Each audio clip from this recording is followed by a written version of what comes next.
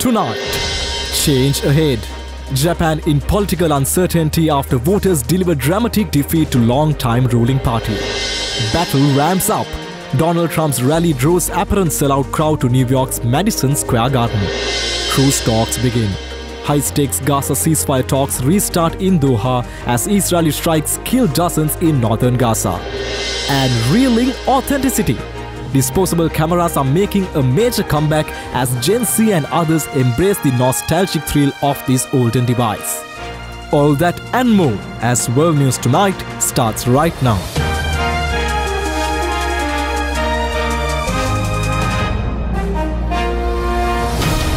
This is Ada Derana World News Tonight. Reporting from Colombo, here's Vinuth Warnasuriya. Well, a very good evening and thank you for joining us on World News Tonight. Well, we have some key stories that developed during the weekend around the globe and we start off today's bulletin with the Japanese elections. The coalition led by Japan's ruling Liberal Democratic Party has lost its majority in the parliament in its worst result in over a decade. The LDP and its much smaller coalition partner Komeito have taken 215 seats together, falling short of the 233 seat majority needed to govern. The party's new leader Shigeru Ishiba said there are no plans to expand the coalition at this stage. Ishiba, who called the election just days before he was sworn in as prime minister, has vowed to stay in office despite LDP's loss of the parliamentary majority. Now to get more details on the story, we have Ada Derana World News special correspondent Rasita Chandradasa who is joining us from Tokyo in Japan. Rasita, how does the situation look over there after a controversial election result? Hello. Japan has a hung parliament now.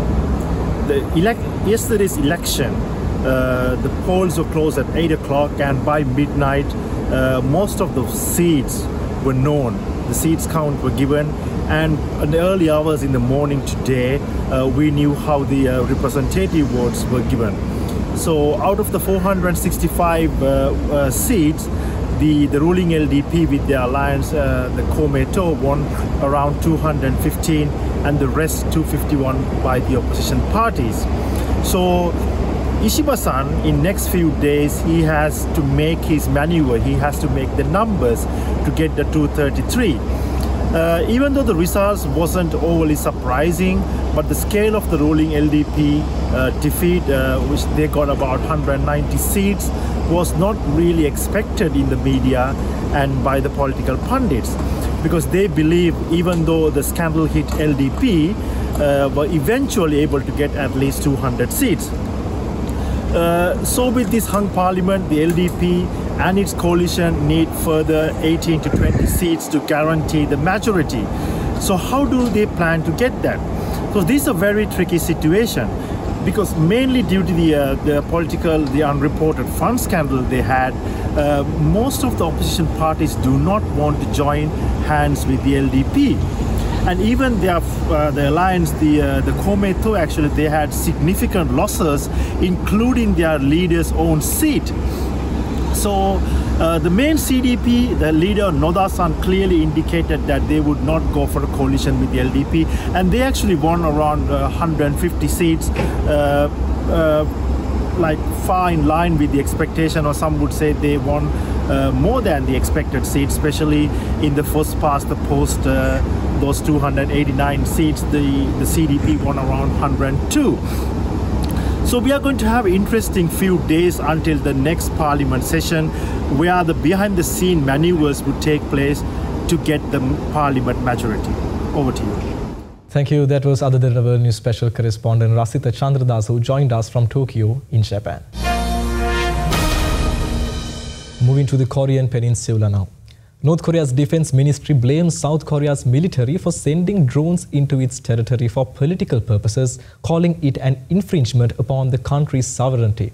A spokesperson from North Korea warned the neighbor of merciless offensive if such a case recurs. Officials view the flights as political acts and a violation of the country's sovereignty. The North said South Korean drones flew over Pyongyang at least three times this month to drop leaflets. State media has also released photos of what it called a crashed South Korean military drone. Authorities said they had uncovered over 230 flight plans and logs, including one to spread, quote, political motivational rubbish. One record from early October purportedly showed a drone took off from South Korea at night and then dropped leaflets over the Foreign and Defense Ministry buildings in Pyongyang a few hours later. Responding Monday, the South Korean military dismissed the North's claims. Tensions between the Koreas have risen since the North began sending balloons carrying trash into the South in late May, prompting the South to restart loudspeaker propaganda broadcast. Simultaneously, Seoul and Washington said North Korea has sent 3,000 troops to Russia for possible use in Ukraine, which could escalate the conflict there. Pyongyang said on Friday that any move to send its troops to support Russia would be in accordance with international law. Moving on to Mexico now, a fatal bus crash on a highway in the central Mexican state of Zacatecas killed at least 19 and injured six others. Traffic accidents in Mexico have been on the rise since 2020 when there were just over 300,000 accidents. The passenger bus, which was traveling to the Mexico-US border city of Juarez, collided with the back of a tractor trailer carrying corn that had become loose before rolling and falling into a ravine under the highway. The State Attorney General's office said that it was carrying out investigations to arrest the driver of the tractor trailer. Mexico's National Guard and the Army were involved in the recovery operation to retrieve the remains of victims. Well, let's go in for a short commercial break. More world news coming right after this.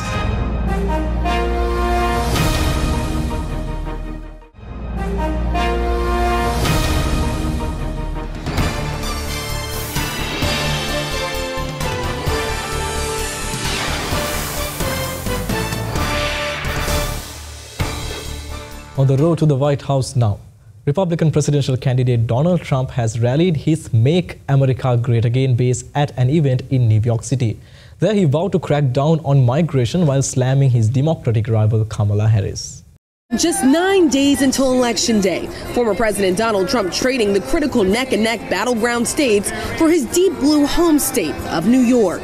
Lines stretching outside his rally at Madison Square Garden, branded the world's most famous arena, known for Knicks basketball games and star studded concerts. It's here in New York where Donald Trump built his business and where he was indicted and convicted in May of falsifying business records.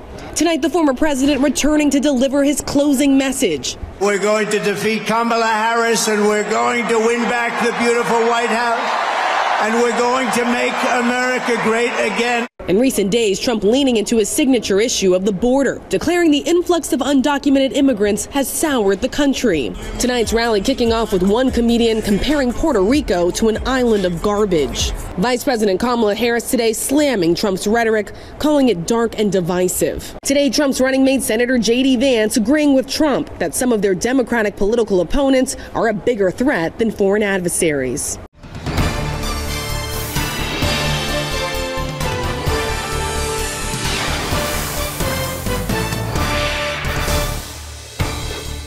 Meanwhile, the United States President Joe Biden delivered an apology for the state policy that forcibly separated generations of indigenous children from their families for more than 150 years and sent them to federally backed boarding schools for forced assimilation.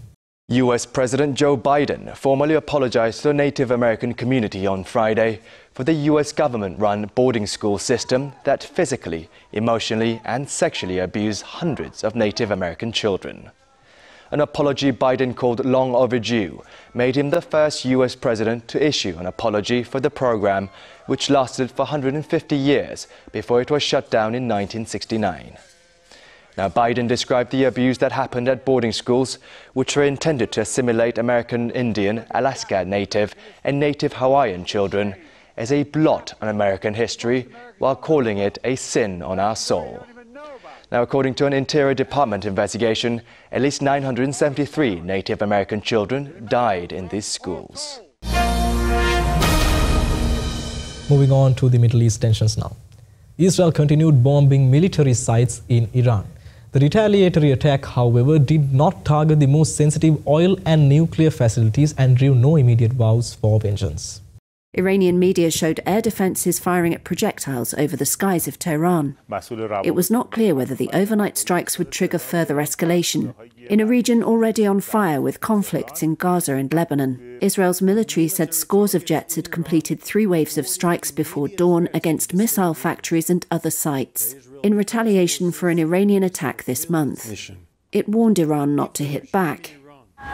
Fears of an escalation between the heavily armed foes have soared since October 1st, when Iran launched around 200 ballistic missiles at Israel, killing one person in the Israeli occupied West Bank in response to earlier Israeli moves. Israel notified the United States before striking, but Washington was not involved in the operation, a US official told Reuters. Shahram Akbarzadeh of Melbourne's Alfred Deakin Institute said it wasn't in Iranian leaders' interest to escalate further. The streets of Tehran appeared busy on Saturday. Tehran said its air defences had successfully countered the attack, but two soldiers were killed and some locations suffered limited damage. A semi official Iranian news agency vowed a proportional reaction to the Israeli strikes, though Israel's military did not change public safety restrictions across the country in a sign it did not expect an immediate Iranian response. A senior Biden official said Israel's, quote, targeted and proportional strikes should be the end of direct exchange of fire between the two countries, but that Washington was prepared to once again defend Israel if Iran should choose to respond. Amid ongoing attacks between Hezbollah and Israel, ceasefire negotiations in the Israel Gaza conflict resumed in Qatar today. The officials said that the negotiations will seek a short-term ceasefire and the release of some hostages being held by Hamas in exchange for Israel's release of Palestinian prisoners. Negotiations to advance a ceasefire deal in the Israel-Gaza conflict have resumed in Qatar. According to reports, CIA Director William Burns and the head of Israeli intelligence service Mossad arrived in Doha to meet with Qatar's prime minister to discuss a hostage release deal. On the same day, Egypt publicly proposed a two-day ceasefire, during which four Israeli hostages in Gaza would be exchanged for Palestinian prisoners held in Israeli jails, followed by more negotiations within 10 days aiming for a complete ceasefire. On Saturday, the Israel Defense Forces announced that it targeted aerial defense systems and missile manufacturing facilities in Iran in retaliation for Iranian attacks on October 1st. Iranian state media reported that around five people were killed in the strikes, including one civilian in what other countries, including the US, hope will be the end of hostile exchanges. Israel's prime minister said that the strike severely harmed Iran and that Israel had achieved all of its goals. Meanwhile, Iran's supreme leader commented that the attack should neither be exaggerated nor downplayed, but he did not call for retaliation. Hezbollah and Israel continued to exchange attacks on Sunday, with Hezbollah announcing a strike on a military site in Israel's northern coastal city of Haifa. They also issued a civilian evacuation order for border areas, marking the first such directive by Hezbollah since the conflict began. According to Israeli sources, some of the 75 rockets fired from Lebanon were intercepted, but a 57 year old woman was seriously injured.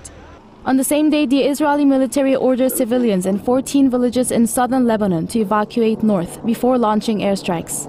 The Lebanese Health Ministry reported that at least 21 people were killed on Sunday in Israeli strikes on three different areas in southern Lebanon. Over in Georgia, now the ruling party Georgian Dream received more than 54% of the vote in a parliamentary election with more than 99% of precincts counted. The result cast it as a watershed moment that would decide if Georgia moves closer to the West or leans towards Russia during the Ukraine war. Georgia's most powerful man claimed victory in an election on Saturday, according to early official results. With 70% of precincts counted, those results show the ruling Georgian Dream Party had won 53% of the vote, the Electoral Commission said. The results do not include most ballots cast by Georgians living overseas.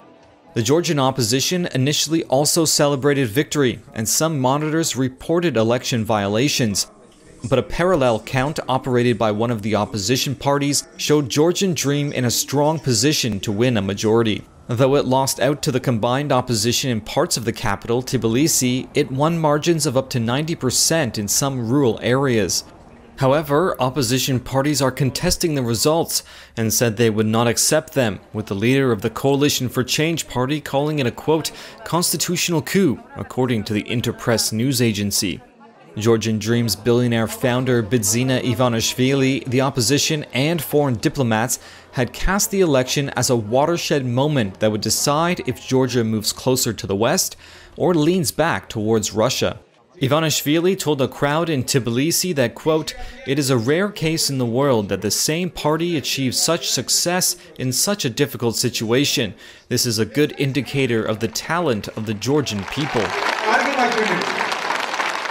Ivanishvili, who made his fortune in Russia in the 1990s, came to power in 2012 advocating pro-Western views alongside a pragmatic policy towards Russia. He's since soured on the West, accusing a global war party of seeking to drag Georgia into war with Russia, even as he insists Georgia is on course to join the EU. If victory for Ivanishvili's Dream Party is confirmed, it would be a blow to the EU's hopes of bringing more former Soviet republics into its orbit. McDonald's said that beef patties in its quarter pounder burgers are the source of the E. coli outbreak, which has killed one and sickened about 75. The United States Food and Drug Administration continues to believe that the slivered onions from a single supplier are the likely source of contamination and McDonald's will resume selling the quarter pounder at affected restaurants. McDonald's said Sunday that beef patties in its quarter pounder burgers aren't the source of the E. coli outbreak, which has killed one and sickened about 75. The fast food chain says it's certain that any contaminated food has been removed from its supply chain and is no longer in restaurants. The Colorado Department of Agriculture said all samples of McDonald's beef patties tested negative for E. coli. They added that beef testing is done and they don't expect more samples. US fast food chains have removed fresh onions from their menu after they were identified as the likely source of the outbreak. E. coli is killed in beef when cooked properly, but the McDonald's quarter pounder includes raw sliced onions. Affected restaurants are now serving the burgers without those onions. Since the incident, McDonald's has removed the quarter pounder from about 20% of its US restaurants. Previous E. coli outbreaks have hurt sales at big fast food chains as customers stay away from affected outlets. McDonald's said it would soon start serving quarter pounders again, and they should be in all restaurants over the coming week. Well, this is a short commercial break now. World news coming right after this. Stay tuned.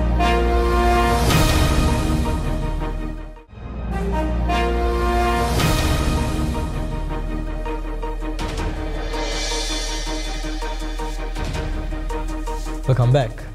Once cast aside in favor of the instant satisfaction of cell phone photographs, single-use disposable cameras are making a comeback. Fans say they like this device's nostalgic authenticity.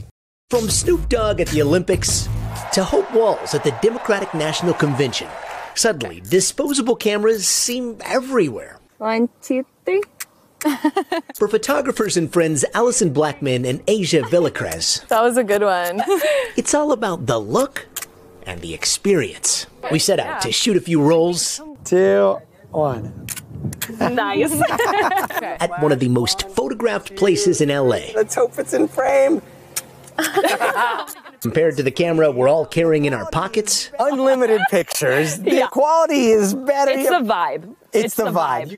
According to Kodak Moments, it's more than just vibes. Sales of the company's single use cameras have doubled over the last five years, driven largely by millennials and Gen Z. It's social media. They're seeing it on uh, TikTok. Phil Stebley owns a darkroom in San Clemente, California, where his lab technicians process and recycle two to 300 disposable cameras every single day. And then there's the wait. Each print, a time capsule into the past. And with that, we wrap up today's bulletin. We will be back tomorrow with the latest happenings across the globe. Well, stay tuned as we got Anuradhi Vikramasinghe joining you next on the Nightly Business Report. Thank you for watching. Have a very good night.